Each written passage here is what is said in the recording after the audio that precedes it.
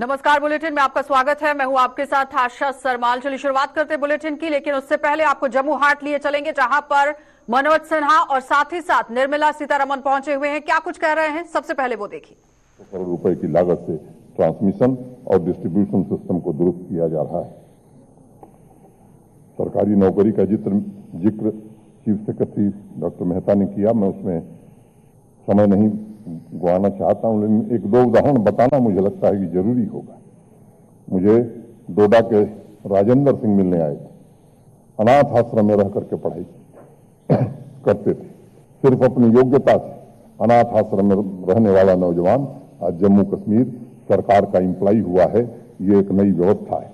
उधमपुर की आराधना डोगरा के पिता मोची का काम करते थे। आज पारदर्शी और मेरिट आधारित तथा भ्रष्टाचार मुक्त व्यवस्था ने उसे अवसर बनाने का अवसर प्रदान किया।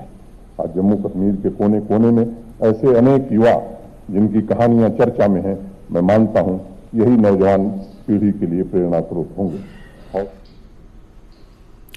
तो जम्मू कश्मीर के उपराज्यपाल मनोज सिन्हा को आप सुन रहे थे। वहाँ पर वित्तीय समावेशन एवं क्रेडिट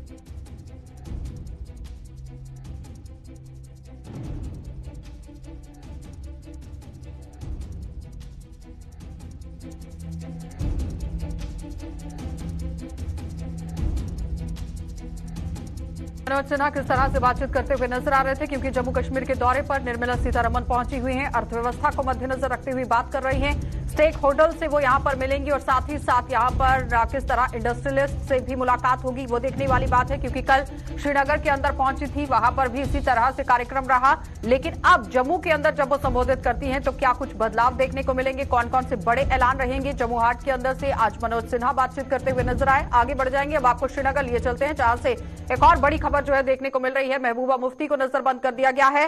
पीडीपी अध्यक्षा महबूबा मुफ्ती को प्रशासन ने यहाँ पर नजरबंद कर दिया है। हैदरपुरा मुठभेड़ में मारे गए लोगों के आवास पर जाने का ये प्रोग्राम था और डॉक्टर मुदस्सिर और अल्ताफ के परिजनों से मिलने जा रही थी महबूबा मुफ्ती। और मुकम्मल तरीके से आप देखिए, पीडीपी हवाले से यहाँ बड़ी खबर देखने को मिल रही है। जहाँ पर नज़र बंद कर दिया गया है। एक बार फिर से महबूबा मुफ्ती को हैदरपुरा मुठभेड़ में मारे गए जो लोग हैं, उनके आवास पर जाने की ये पूरी तरह से कोशिश कर रही थी और डॉक्टर मुदस्सर और अल्ताफ के परिजनों से मिलने जा रही थी महबूबा। मुफ्ती। और इससे पहले अगर श्रीनगर की बात बताई जाए तो लगातार धरना प्रदर्शन जो है, वो डॉक्टर मुदस्सर और अल्ताफ के परिजनों की तरफ़ से किया गया था कि उनके शव यहाँ पर दिए जाएँ और उसके बाद अंतिम संस्कार किया जाए। कड़ी मुशक्कत के बाद, धरना प्रदर्शन करने के बाद, कई लोगों का समर्थन मिलने के बाद यहाँ पर शव इन लोगों को दिए गए और उसके बाद अंतिम संस्कार भी कर दिया गया। लेकिन अब आज की बड़ी ताज़ा अपडेट यह है कि पीडीपी अध्यक्षा महबूबा मुफ्ती लगातार इन लोगों से मिलने के लिए पहुँच रही थी, इनके परिजनों से मिलने के लिए पहुँच रही थी और हैदरपुरा मुठभेड़ में मारे गए लोगों के आवास पर जाने का ये पूरा प्रोग्राम रखा गया था। और साथ ही साथ आपको ये भी बताते चले कि लगातार पीडीपी अध्यक्षा महबूबा मुफ्ती हम यहाँ पर किस तरह से सुर्खियाँ बटोरती हुई नज़र आ रही है, वो सबके सामने इससे पहले जम्मू के अंदर पहुँची हुई थी, जहाँ पर बैनर लेकर उन्होंने धरना प्रदर्शन भी किया था। किलिंग्स को लेकर वो बातचीत करती हुई नज़र आई थी और आज जब उन्होंने जाने की कोशिश की है तो उन्हें नज़र बंद कर दिया गया है। सैयद तजमुल हमारे साथ जुड़ चुके हैं। तजमुल, सबसे पहले तो अपडेट बता दीजिए कि जिस तरह से महबूबा मुफ्ती को नज़र बंद किया गया है, कहाँ पर रखा गया है, क्या कुछ है? अच्छा आपको याद होगा कि पीडीपी अध्यक्ष और सबक मुख्यमंत्री महबूब मुफ्ती ने आज प्रोग्राम दिया था चूँकि पहले प्रोग्राम देना पड़ता है सिक्योरिटी लाइन्स को और उसके बाद महबूब मुफ्ती इससे पहले कि घर से बाहर आती तो उन्हें मुतलक किया गया कि उन्हें दोबारा आज घर में नजरबंद किया गया। अपने ही सरकारी रिहाइश का वाक्य फेयरव्यू सोनवार श्रीनगर में उनको फ़िलहाल जो है गुप्का रोड पर फ़िलहाल उन्हें घर में नजरबंद रखा गया। डिटेंशन की वजूहत कही एक है महबूब मुफ्ती के तरतीब दिए प्रोग्राम में सबसे बड़ी बात यह थी कि अल्ताफ अहमद भट्ट जिनका ताल्लुक बरजला से था और डॉक्टर मुदस्सिर गुल जिनका ताल्लुक परेपोरा हैदरपोरा से था आज महबूब मुफ्ती ने उनके घर जाना था और उनके अहल खाना के साथ ताजियत करनी थी। लगातार धरना प्रदर्शन ट्वीट के ज़रिए उन्होंने जम्मू कश्मीर में इस अटैक के बाद अपनी बयानबाजियाँ जारी रखी है।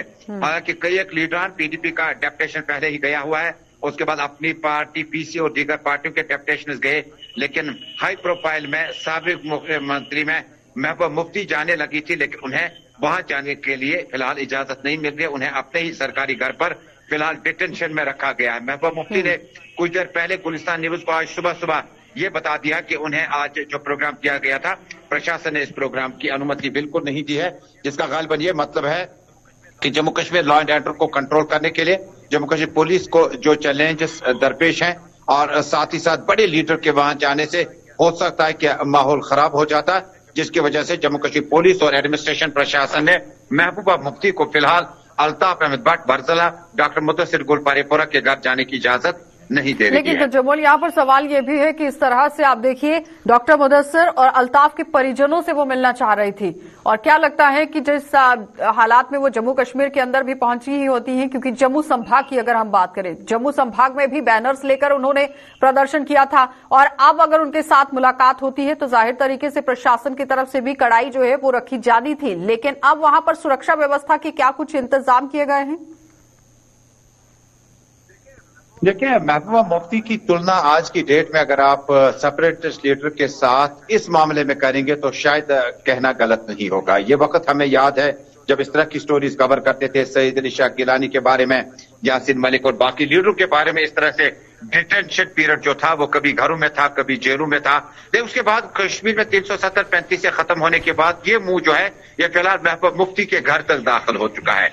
महबूब मुफ्ती ने दो चार प्रोग्राम दिए। पहले जम्मू में वहाँ धरना प्रदर्शन दिया और जम्मू की सरजमीन से यूनियन होम मिनिस्टर और गवर्नमेंट को सख्त और लहजे में पैगाम दिया, जिस वक्त आम शहरी की हिलाकतों का मामला हुआ। महबूबा मुफ्ती, उसके बाद अपने घर में सीधे लाल चौक श्रीनगर की प्रेस कॉलोनी आना चाहती थी, जहाँ उनका जो धरना प्रदर्शन पर बैठे थे, अल्ताफ अहमद और डॉक्टर मुदसर के घर का, घर के लोग उनके साथ धरना एहतजाज में शामिल होना चाहती थी।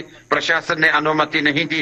उसके बाद महबूबा मुफ्ती ने कल सुंबल जाकर अपने पार्टी के कार्यकर्ता सईद सजाद की वालदा के इंतकाल पर जाना चाहिए लेकिन प्रशासन ने इजाज़त दे दी। उसके बाद श्रीनगर के जो तस्वीरों में आप देखते हैं श्रीनगर में एक बड़ी अहम क्या लगता है तजमुल की इस तरह से बार बार तो रोके जाना इस तरह से बार बार रोके जाना क्या साबित करता है? क्योंकि जिस तरह से महबूबा मुफ्ती किसी भी जगह पर पहुँचती हैं वहाँ पर धरना प्रदर्शन तो शुरू हो जाता है। अगर जम्मू की बात करें तो बजरंग दल धरने प्रदर्शन पर देखा गया है। और साथ ही साथ कश्मीर के अंदर जब वो रहती हैं तो वहाँ पर भी बगावती सुर देखे जाते हैं।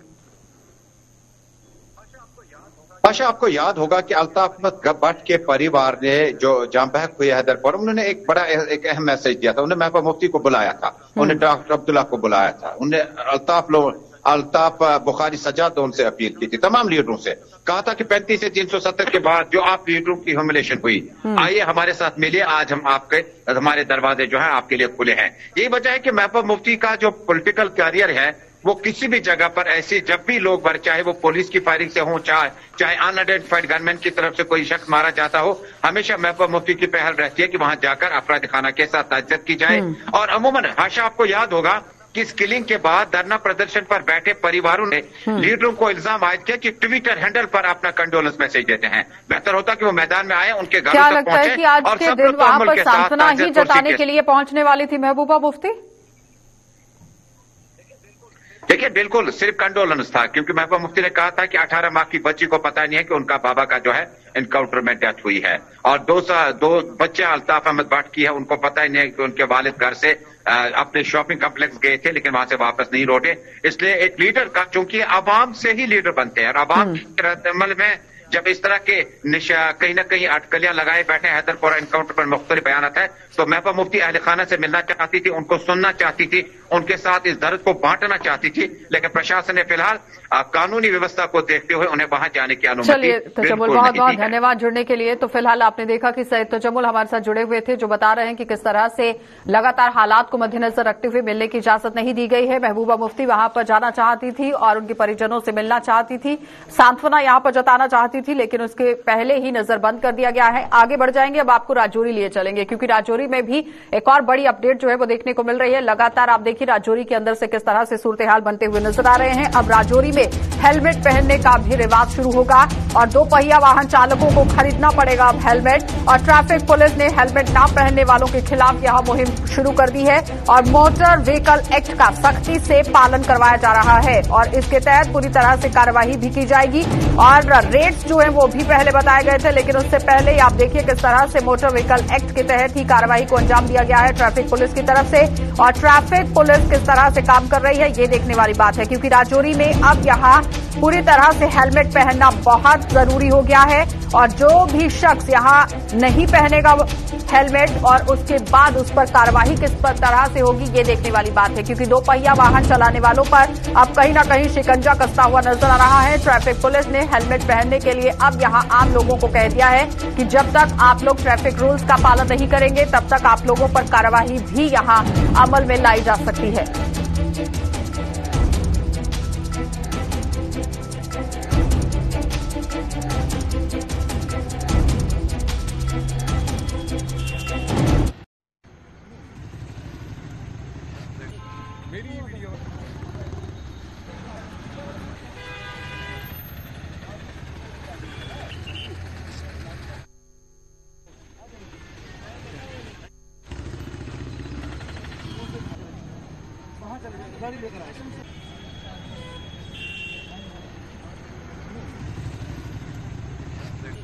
மெரிய வீடியோ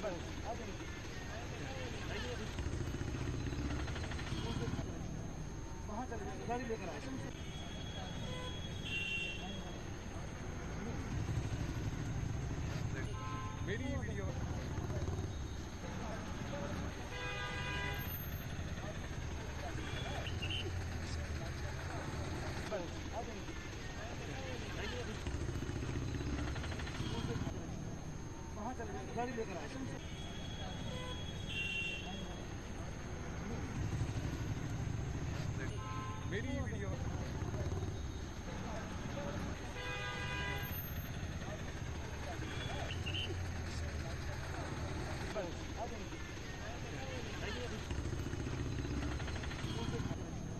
वहाँ चले गाड़ी लेकर आए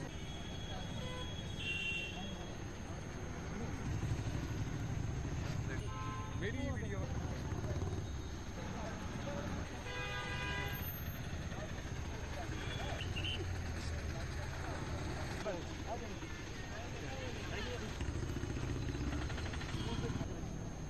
चले गए गाड़ी लेकर आए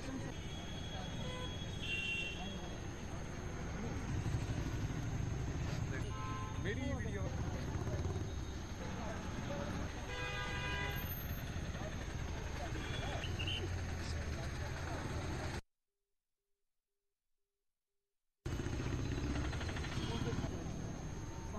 गाड़ी लेकर आए सीधा लिए चलेंगे जबूहाट और जहाँ से निर्मला सीतारमन लगातार संबोधित कर रही है, क्या कुछ कह रही है? क्योंकि बड़ी बड़ी सौगातें देती हुई नज़र आ रही है। एक सौ पैंसठ करोड़ रुपए की सौगातों का अभी तक वो उद्घाटन कर चुकी है। क्या कुछ कह रही है? देखिए sir interaction with women entrepreneurs in Srinagar to explain this to you and probably narrating story which is your own the kind of people who assistance now in the of honourable Governor or Lieutenant Governor or even from the Member of Parliament's hand just speaks how the new policy for developing uh, Jammu and Kashmir, which has been given by the Honorable Prime Minister, PM Development uh, Program, the schemes which are actually making a difference. Lot of people are wanting to come and set up industry, benefit from the package. I would invite more number of you to come forward to set up businesses in J&K. And of course, more activities at the ground will attract people from everywhere else also to come and partner with you. I will certainly underline this fact that when people partner with you, they are not going to displace you, they are not going to remove you, they are going to come in with strengths. You have your strengths. You need also more help from resources coming from banks and elsewhere. Today, banks alone cannot bring in that kind of equity for activities here. So I would think the more number of ground level activities may, will lift the economy to such an extent it may draw people to come in and participate along with you for building the strengths of J&K's economy. I need not assure again that the development of J&K in every aspect and I can see some of those specific programs which the Lieutenant Governor has uh, uh, designed have gone in favor of health and education. World Bank or multilateral funding are all now being pulled through an agency which takes care of, you know, economic revival of J&K and that is also making a difference. वित्त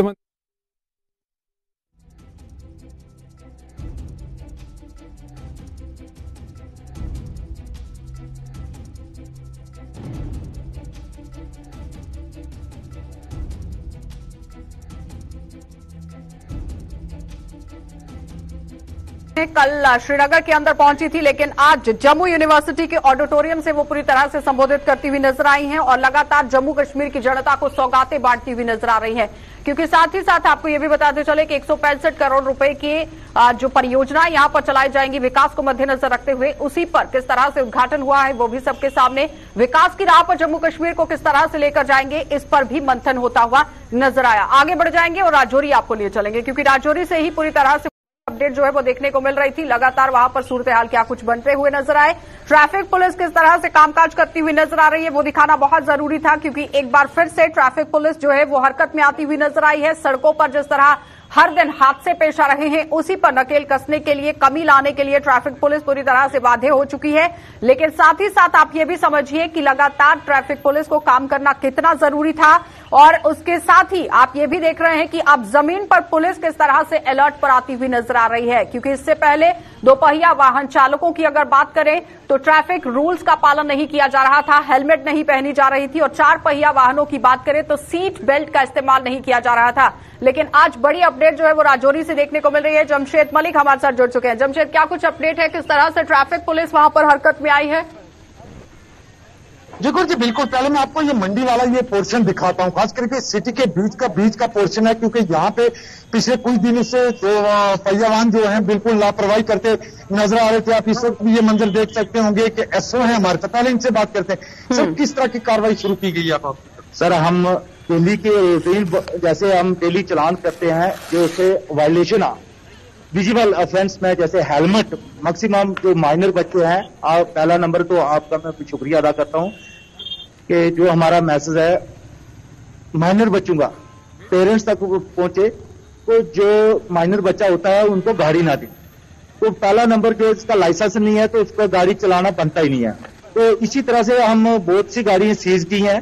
जैसे minor बच्चा होता है उसकी helmet नहीं होती documents जैसे licence नहीं होता है उसकी विजिबल ऑफेंस में हम चलान करते हैं। तो सुबह से लेके कितने चलान किए? क्या ये कार्रवाई आगे भी लगातार जारी रहेगी? हमारी कार्रवाई डेली की चलानिंग होती है और हर रोज हम चलान करते हैं और जो भी हम चलान करते हैं विजिल ऑफेंस में, जैसे हेलमेट, जैसे सीट बेल्ट होगी, डॉक्यूमेंट्स, दो डॉक्यूमेंट्स, माइनर्स बच्चे होते हैं, जो स्टूडेंट्स होते हैं, उनको हम चलानिंग और गाड़ी सीज करते हैं। आज भी हमने दो तीन मोटरसाइकिल बाइक सीज की हैं जिसके पास हेलमेट जमशेद सवाल कीजिए कि क्या सड़क हादसों को मद्देनजर रखते हुए इस तरह से कार्यवाही को अंजाम दिया गया? क्योंकि मोटर व्हीकल एक्ट की बात करें तो काफ़ी पहले से ही ये एक्ट यहाँ पर चलाया गया है लेकिन इस पर काम होता हुआ कहीं ना कहीं दिखा नहीं है ग्राउंड अलग अलग जगहों में हम नाका लगाकर बात करेंगे। मोटर एक्ट की जहाँ तक बात की जाए कितनी सख्ती आई थी एक्ट के बाद उसके बाद में लापरवाही हुई बड़ी पैमाने पर लापरवाही।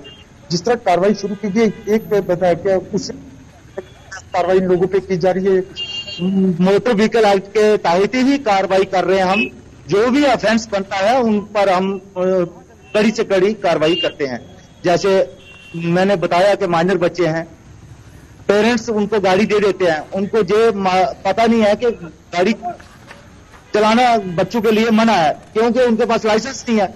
लाइसेंस के बिना वो गाड़ी दे देते हैं, ऐसे उनका गाड़ी चलाना बनता नहीं है। जी जी ये जी बिल्कुल ये मंजर मैं दिखाता हूँ आपको। पूरी ये देखना कितने बाइक आपको आज यहाँ इस पोर्शन में नज़र आएँगे। सबसे मसरूफ सड़क जो राजौरी सिस्टम कह सकते हैं यहाँ इतनी बाइकें खड़ी करके भाग चुकी हैं, क्योंकि सुबह से यहाँ जब नाका लगाया गया उसके बाद लोग अपनी गाड़ियाँ खड़ी करके भाग जाते हैं। खास करके कितना असर देखा राजौरी गया ग्राउंड पर जमशेद आज?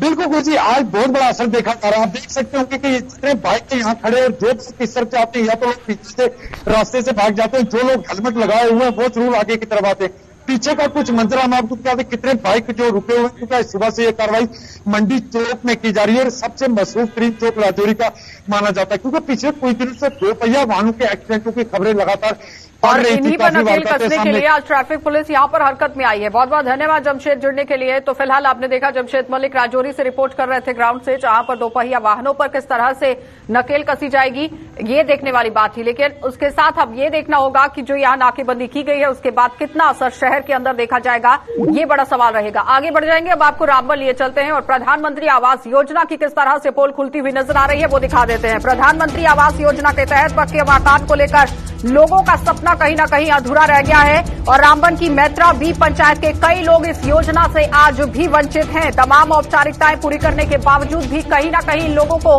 मायूसी हाथ लग रही है और सरकारी दफ्तरों के चक्कर काट काट कर अब ये लोग थक हार चुके हैं। और प्रशासन से ही गुहार यहाँ पर लगाई गई है, लेकिन उसके बावजूद भी आप देखिए कितना काम हुआ है रामबन के अंदर। ये देखने वाली बात है, जहाँ पर प्रशासन और सरकार की तरफ़ से बड़े बड़े दावे पेश किए जाते हैं कि जमीनी सतह पर परियोजनाओं को पहुँचाने का काम हो रहा है। कितनी योजनाएँ और परियोजनाएँ ग्राउंड ज़ीरो पर पहुँचती हैं, ये देखने वाली बात है। लेकिन उसके साथ ही सबसे पहले आपको सुना देते हैं कि स्थानीय लोगों का क्या कुछ कहना है, जरा वो देखिए। नहीं है। रहने के लिए जगह भी नहीं है। एक ही कमरा है तो उसी में गुजारा करते हैं। तो फ़िलहाल तो कुछ भी नहीं है। क्या परेशानियाँ रहती है आपको? परेशानी नहीं होगी। देखिए ये मेरा किचन है। इधर मैं खाना बनाती हूँ। इधर बस ये है कि रूम है तो उसी में सब गुजारा कर रहे हैं। तो कोई मेहमान अगर आ जाता है तो उसको कहाँ रखेंगे? सभी लोग बोलते हैं कि सरकार इतना पैसा दे रही है लेकिन हम गरीबों को तो एक किचन भी नहीं मिला। मकान की तो चलो। ये जो आपके पास एक कमरा है इसकी कैसी हालत है? देखो आप ऐसी हालत है अब एक ही कमरा है ना नीचे ऐसे हमने थोड़ा बहुत किया था इसको ऐसे मतलब बाकी चलिए तो नदीम के पास चलेंगे। नदीम ग्राउंड ज़ीरो से हमारे साथ जुड़ चुके हैं। नदीम, जिस तरह से प्रधानमंत्री आवास योजना को लेकर बात हो रही है, जहाँ पर बड़े बड़े दावे पेश किए जाते हैं, लेकिन जमीनी सतह पर कुछ भी देखने को नहीं मिल रहा है। जी, बिल्कुल। आशा, देखिए, मैं आपको एक चीज़ बता दूँ। प्रधानमंत्री आवास योजना के तहत जहाँ हम कहें कि गरीब लोगों को, जो डिजर्विंग लोग थे, उनको जो है, रहने के लिए, घर बनाने के लिए सरकार की तरफ़ से मदद दी जा रही है। लेकिन अशय जब हम ग्राउंड पे जाते हैं तो जब लोगों से हमारी बातचीत होती तो कहीं ना कहीं वो कंडीशन है हालात जो इसके बरक्स नज़र आते हैं। क्योंकि मैं आपको एक चीज़ बता दूँ। देखिए सबसे पहले पीएमएवाई में उन लोगों को फ़ायदा दिया गया जो सेक डाटा 2011 में जिनका नाम शामिल था। उसके बाद आवास प्लस में भी कुछ लोगों को जो है शामिल किया गया। लेकिन अभी भी जब हम ग्राउंड पे जाते हैं तो जो डिजर्विंग लोग हैं जिनको ये पीएमएवाई के तहत मदद मिलनी चाहिए उन लोगों तक नहीं मिल पा रही है। क्योंकि लिमिटेड टाइम के लिए आपने आवास प्लस का जो है साइट खोली और उसके बाद कुछ लोगों को एंटर किया। और वहाँ भी हमने देखा कहीं ना कहीं जब हम लोगों से बात करते हैं क्योंकि रूरल डेवलपमेंट डिपार्टमेंट जो है इस स्कीम को देख रही है तो उनके पास मैन पावर इतनी ज़्यादा नहीं है कि हर पंचायत में वो जा सके। उनके पास एक पंचायत सेक्रेटरी के पास छह से सात मुलाजिम है। जिम्मेवारी गाँव के जो पंच खड़पंच थे उन्हें दी गई थी कि जनाब आप जो मुस्तक लोगों का नाम हम तक पहुंचाएँ लेकिन वहाँ पे भी वही असर और रसूख जो नूर नज़र लोग थे उन्हें ही फ़ायदा दिया नाम गया वहाँ तक नहीं पहुँचाया गया है? जी, बिल्कुल, देखिए, आशा, मैं आपको एक चीज़ बताऊँ, क्योंकि जब आप पंचायत लेवल पे जाते हैं तो वहाँ पे पंच और सरपंच जो होते हैं कई जगहों पे उनका अपना इंटरेस्ट होता है वो अपने लोगों का नाम ही इस फरिश्त में शामिल किए। और जो डिजर्विंग लोग थे, कहीं ना कहीं उन्हें इन चीज़ों से दूर रखा गया। अब लोगों की यही डिमांड है कि जनाब इस साइट को दोबारा से खोला जाए और जो भी डिजर्विंग लोग हैं, उनके नाम इस फरिश्त में शामिल किया जाए, ताकि आने वाले वक्त में उन्हें भी इमदाद मिले और वो भी एक बेहतर घर में रह सके, क्योंकि मौसम सरमा के दौरान या मौसम गर्मा के दौरान कड़कती धूप हो या शिदत की सर्दी हो तो उसमें कच्चे मुका जो जिस तरह के मुकान है अनसेफ जो मुकान है उसमें रहना काफ़ी लेकिन नदीम जिस तरह से जब- 2017 में जो लिस्ट बनी थी उन्हें फ़ायदा मिला है। तो आगे आने वाले समय में जो 18, 19, 20 और 21 का समय था वहाँ पर लिस्ट क्यों नहीं बनाई गई? ये ज़मीन पर लागू करने की ज़रूरत थी उन कर्मचारियों से बातचीत करने की ज़रूरत थी जिन्हें ये पूरी ज़िम्मेदारी सौंपी गई थी। जी बिल्कुल आशा देखिए मैंने आपको पहले ही बता दिया क्योंकि देखिए मैं आपको बताता हूँ रूरल डेवलपमेंट डिपार्टमेंट है जो है पीएमएवाई स्कीम को देख रहा है लेकिन पीएमएवाई को देखने वाला डिपार्टमेंट जो है उसके पास मैन पावर ही नहीं है। उनके पास एक वीएलडब्ल्यू है छह से सात पंचायत उनको दे रखी है क्योंकि मैन पावर की कमी है एम्प्लॉयज़ की कमी है। तो जिम्मेवारी जो सौंपी गई थी पंचिस और जो सरपंचिस थे उनके ज़रिए से डाटा लिया गया था कि आप हम तक डाटा पहुँचे उनको इन्वॉल्व किया गया था उनकी मदद से काम लिया क्या लोगों की तरफ़ से इस तरह से गुहार लगाई गई थी? अपना आरोप जो है वो बताया गया था आला अधिकारियों तक। जी बिल्कुल। देखिए आशा आज की डेट में भी लोग कई बार ये कहते हैं कि जनाब हमारा नाम उसमें नहीं है। लेकिन अब रूरल डेवलपमेंट डिपार्टमेंट के पास भी कोई रास्ता नहीं है क्योंकि आपके पास जो एंटर होने के जहाँ नाम है आप एंटर करते हैं वो साइट ही बंद है। आप यानी प्रशासन की तरफ़ से भी ढिलाई और उसमें आम जनता की तरफ़ से भी ढिलाई जो है वो बढ़ती जा रही है जिसका खामियाजा आम लोगों को ही भुगतना पड़ रहा है। बहुत बहुत धन्यवाद नदीम जुड़ने के लिए। तो फ़िलहाल आपने देखा कि प्रधानमंत्री आवास योजना का पूरा फ़ायदा रामबन ज़िले के अंदर मिलता हुआ नज़र नहीं आ रहा है जहाँ पर मैन पावर नहीं है कर्मचारियों की भर्ती होनी चाहिए थी। यहाँ पर कर्मचारियों को काम पर लगाया जाना चाहिए था लेकिन ऐसा कुछ भी विभाग की तरफ़ से नहीं किया गया है जिस पर संज्ञान लेना बहुत ज़रूरी है। फ़िलहाल बुलेटिन में इतना ही देश और दुनिया की खबरों के लिए आप बने रहिए। गुलस्तान न्यूज़ के साथ।